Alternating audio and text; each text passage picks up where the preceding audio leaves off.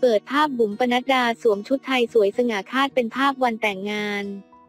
เฝ้ารอชมความน่ารักลูกชายคนที่สองของบุ๋มปนัดดาวงผู้ดีที่เพิ่งเปิดเผยวันนี้วันที่ 21 พฤศจิกายน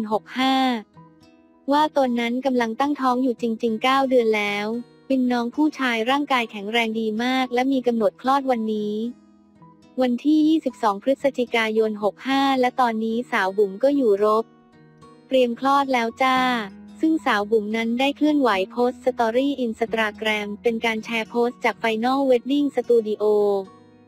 official ห้องเสื้อที่มีแต่ความงดงามอลังการในชุดไทยประยุกต์ที่ได้เผยภาพแม่บุ๋มสวมชุดไทยสวยงาม